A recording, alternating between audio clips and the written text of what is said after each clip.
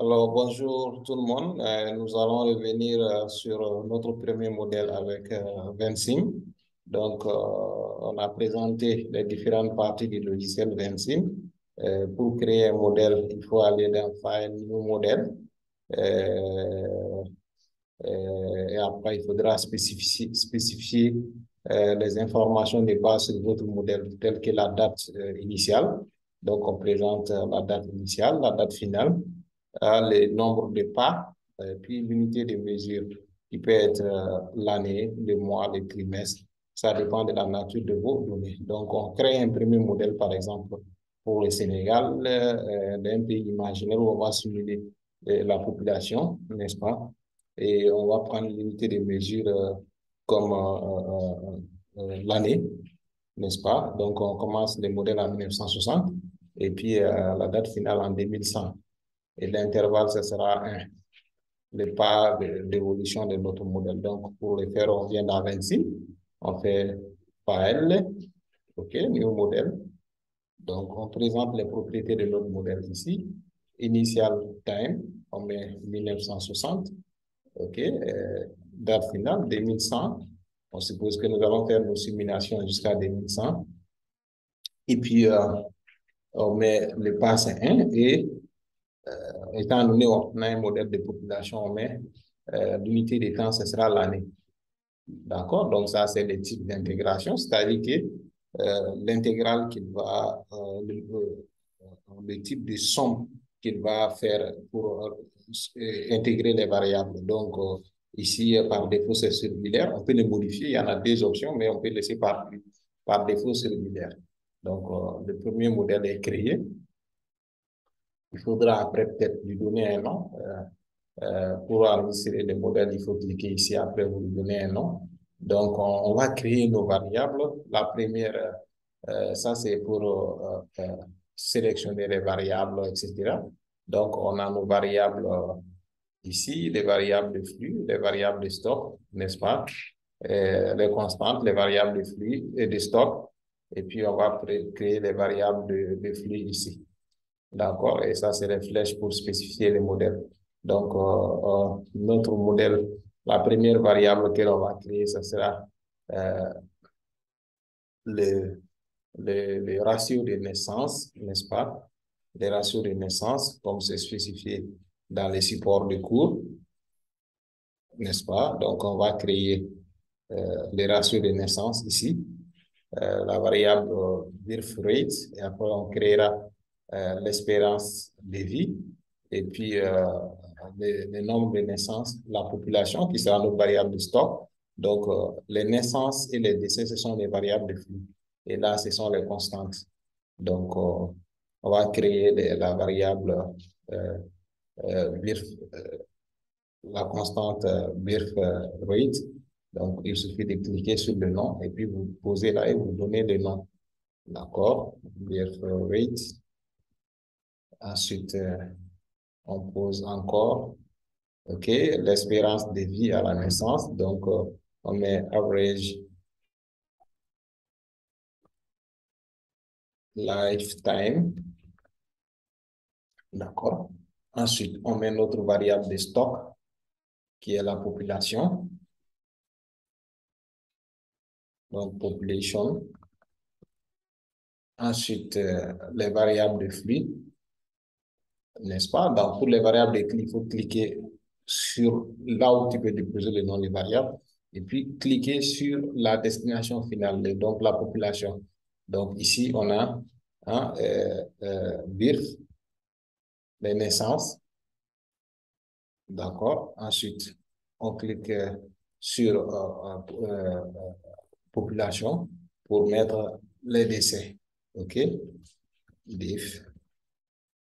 Donc, euh, on a, il nous demande si je vais insérer les, euh, le modèle. Je vais l'insérer après. Donc, euh, on clique sur... Donc, je lâche les... Euh, je fais échappe pour lâcher le nom qui n'est pas bien, euh, bien décrit. Donc, je sélectionne, n'est-ce pas? Je peux supprimer une variable déjà, donc pour supprimer, Il suffit de cliquer ici sur Delete. D'accord? On, on supprime. Et puis, on supprime. D'accord? Donc, je peux reprendre. Euh, je clique là. Et là, je mets, hein, n'est-ce pas, diff. Le. Alors, donc, euh, le menu de sélection, c'est celui-là. Après, il faudra, euh, après avoir créé les variables, il faudra euh, les relier, n'est-ce pas, par les flèches. Hmm? donc, on a les ratios de naissance qui sera lié, n'est-ce pas, aux naissances. Ensuite, on a, on a les populations qui seront liées aux naissances et les populations, les décès. Et euh, on a la variable l'espérance de vie qui sera liée au, au décès.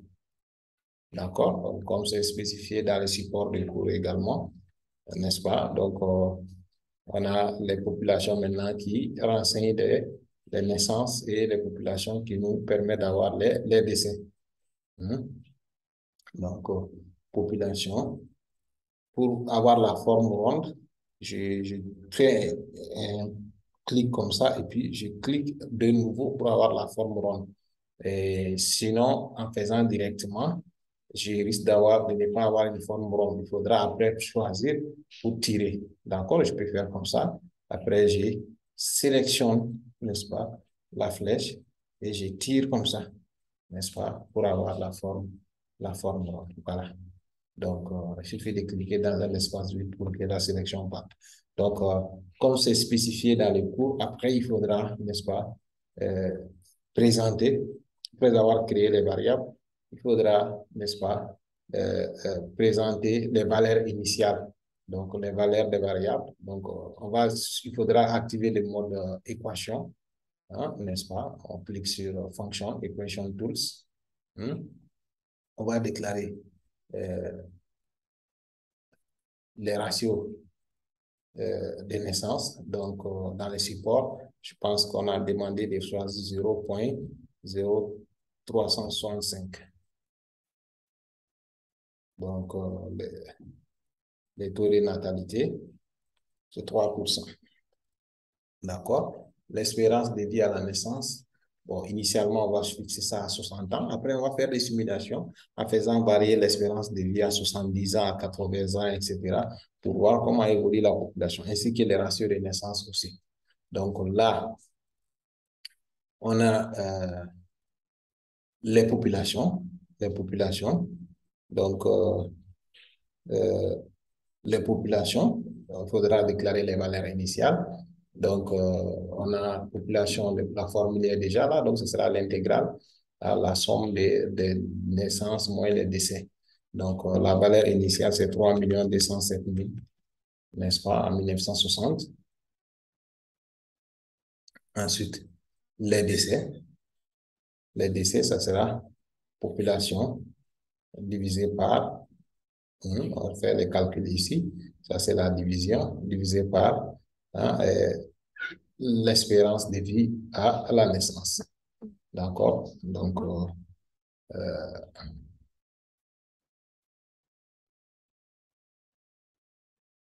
et là, euh, les naissances, ce sera population fois les ratios des les taux de natal, les, ratios des de naissances. Donc, on clique sur population multiplié par OK, race. Donc, tout ceci, les formules sont bien spécifiées dans le support de cours. Hmm? Euh, voilà. Les, voilà, les naissances, population fois, euh, taux de natalité, euh, valeur initiale 1960, c'est 3 207 000.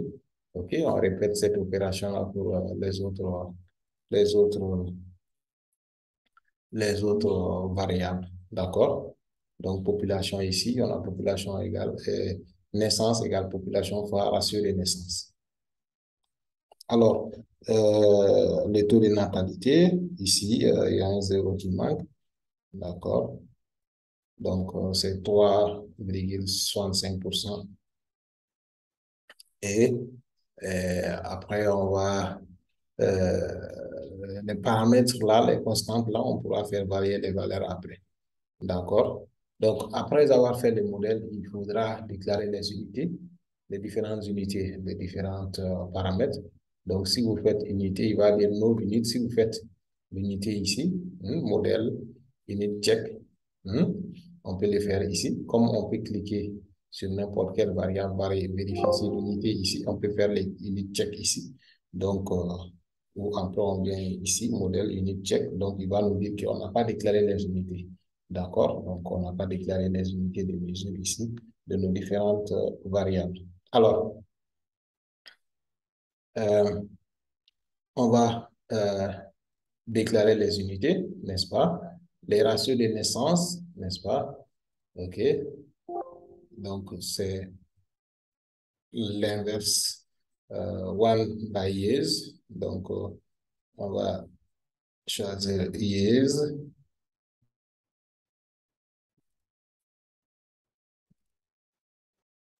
Donc, après, je vais faire une check ici. D'accord. Après, on a euh, euh, population, on a population euh,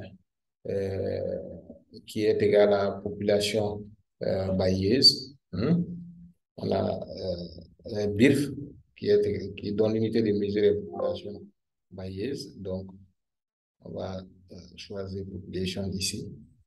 On va mettre population. Il faudrait que bien que ce soit écrit de la même manière, population by years. Donc, euh, je vais cliquer sur years aussi. Et puis, euh, mettre, voilà, faire comme ça. population by years. Alors, donc, euh, la variable euh, population, donc son unité de mesure, c'est population. Donc, on mettre population. D'accord. Et après, on a les décès. Les décès, l'unité de mesure, le nombre de décès. Euh, le nombre de décès, c'est euh, le nombre de décès par an, donc c'est population varieuse. Hein. C'est comme les naissances aussi, c'est le nombre de naissances par an. Donc, euh, c'est population varieuse. Euh, je dois avoir l'unité déjà ici. Je peux le choisir, voilà. Et puis, on a l'espérance de vie. L'espérance de vie, son unité de mesure, c'est l'année. Donc, c'est years. OK? L'espérance de vie à la naissance. Donc, après avoir fini de déclarer tout ça, il faudra cliquer sur modèle, unit, hein, n'est-ce pas, unit euh, check. Voilà. Ici, on a unit R OK. Donc, ce qui veut dire que on peut, n'est-ce pas, euh, s'assurer que tous nos euh, paramètres sont déclarés, OK, le taux de natalité, on a 3 pour 3,65%. L'espérance de vie à la naissance, on a dit 60 ans. D'accord? Et la population, la valeur initiale, c'est 3 207 000 en 1960. Donc, euh, on peut demander à notre modèle maintenant, n'est-ce pas? Comme c'est indiqué dans, le support du cours, on peut demander au modèle, après avoir fait les vérifications des unités, on peut solver, n'est-ce pas? On peut solver le modèle. Et, bon, il y a les raccourcis clavier pour vérifier les unités de mesure. C'est CTRL euh, T, voilà, unit check, n'est-ce pas? On a CTRL U, CTRL euh, U pour corriger euh, les unités de mesure, n'est-ce pas? CTRL T pour voir, vérifier si les syntaxes sont correctes. Donc, CTRL T, il nous dit que le modèle est OK, n'est-ce pas? Et CTRL U, n'est-ce pas, les, unités, les unités sont bien déclarées. Donc, euh, on peut ici euh, simuler les modèles pour voir comment va évoluer les populations jusqu'en 2100 par rapport aux paramètres qu'on a déclarés. Donc, il suffit de cliquer ici. Je vais cliquer ici. Il me dit qu'on doit enregistrer le modèle, n'est-ce pas? Donc, euh, je vais cliquer sur population et là, je vais enregistrer d'abord le modèle sous un nom, n'est-ce pas? Euh, il faudra choisir le dossier dans lequel vous voulez enregistrer euh, votre modèle. Hmm? Euh, moi, je décide de le mettre ici. Donc, je vais l'appeler population exemple. Exemple. Voilà. Donc, notre modèle, euh, n'est-ce pas, euh, on va résoudre le modèle et le modèle est résolu. Maintenant, si je veux voir l'évolution de la population, il suffit de cliquer sur population et je vais cliquer ici sur les graphiques pour voir l'évolution de la population. Hein. Donc, euh, ici, en 2021, on va avoir combien sera la population? On a 10 millions, hein, 600, 626 000, selon les paramètres qu'on a vu. Donc, euh, en 2040, voilà comment il va évoluer la population euh, jusqu'en 2100, l'année finale qu'on a mis. Et maintenant, si on veut l'avoir sous forme de table, il suffit de cliquer des tables en colonne. On clique sur table, on a nos populations ici. Et si on veut l'avoir sous forme de table en ligne, il faudra juste cliquer ici.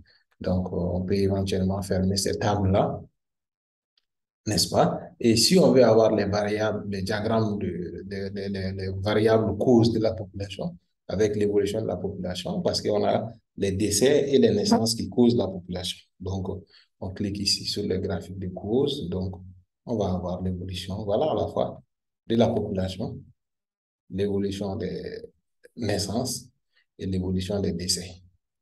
Voilà, les trois graphiques eh, ensemble. Donc, euh, on peut éventuellement donner un nom. On peut appeler ça base base, n'est-ce pas, dans notre modèle et euh, éventuellement faire des simulations. Maintenant, je, ferme ça. Si je veux maintenant aller plus loin, c'est-à-dire euh, faire des simulations par rapport au, modèle que je viens de faire là, il suffit de cliquer sur euh, Run Simulation. Donc, je clique sur Simulation. Et là, hein, vous voyez ici, euh, donc, euh, les paramètres là s'activent. Je peux éventuellement changer les, les valeurs. Donc, pour changer les valeurs, j'ai la possibilité de déclarer, de, par exemple, euh, l'espérance de vie ou les ratios, les taux de natalité. Donc, je peux faire déplacer comme ça, faire évoluer les taux de natalité et essayer de voir comment va évoluer la population. Donc, si je vais changer les valeurs, je peux cliquer droit aussi sur la, la série, OK? Cliquer ici et changer les valeurs. Donc, euh, je peux mettre euh, à 0 à 4%. Et puis, je regarde maintenant. Là, je vais euh, voir maintenant comment, comment, comment, comment évoluer la population. Donc, pour ce faire, il suffit de cliquer sur le graphique de la population pour voir comment, hein, n'est-ce pas? non, là, je suis sur les ratios de naissance, voilà clique sur le graphique de la population pour voir comment évolue la population. Voilà, si je change, n'est-ce pas, les ratios de naissance à, à, à, à 4%, comment va évoluer la population? Et à 3%, 3,66%, voilà comment évolue ma population. Voilà, et je peux ramener ça, les ratios euh, de naissance à sa valeur initiale et, et euh, donc on a 3,65%. Et là, j'ai fait évoluer l'espérance de vie de, par exemple, 5 ans. Donc, je ramène à 65 ans. Hein, n'est-ce pas? Euh, je peux cliquer sur la série déclarer la valeur aussi. Donc, je ramène à 65 ans. Et là, je regarde comment évolue la population éventuellement. Voilà, euh, non, il faudra cliquer sur population, voilà, avant d'afficher les graphes. Donc, ça, c'est la population de base, hein, la population de base et la population avec euh, l'espérance de vie euh, à, la, à, la, naissance. Donc, la population avec l'espérance de vie à la naissance et mon modèle initial. Donc, on voit que les, comment évoluent les décennies. Donc, je peux éventuellement afficher ça en, table, n'est-ce pas? Donc, voilà, j'ai les tableaux de base, hein, et puis les, les, valeurs simulées en faisant varier l'espérance de vie à, 60, à, 65 ans, n'est-ce pas? Donc, euh, je peux avoir les valeurs futures de la population et faire plusieurs simulations comme ça. On peut garder euh, celui-là, n'est-ce pas? Je vais appeler ça base 1. Hein. Ensuite, donc, euh, je ramène la population à, à, 60, à 60 ans, à sa valeur initiale. Et là, je vais faire varier ah, n'est-ce pas, les ratios, les taux de natalité à 4% ou 4-5%. Voilà, ajoutons 1%. Et là, euh, euh, je, pourrais cliquer ici pour voir euh, l'évolution.